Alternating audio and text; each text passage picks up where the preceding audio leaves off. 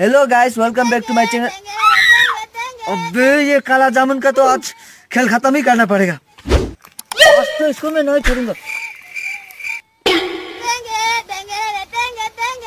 अच्छा तू काला जामुन यहाँ पर छिपके तेंगे तेंगे कर रहा है।